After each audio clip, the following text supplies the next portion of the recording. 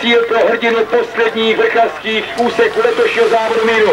Dainius Opos, Lotyšsko, dosahuje svého velkého významného mezinárodního úspěchu v královské etapě letošního závodu míru Joko 96. Ze Spolkové republiky Německo. Kdo to bude? Stefan Gošlink, nevím, nevím, podívám se, 56, 56 za páskou, to znamená Stefan Gošlink.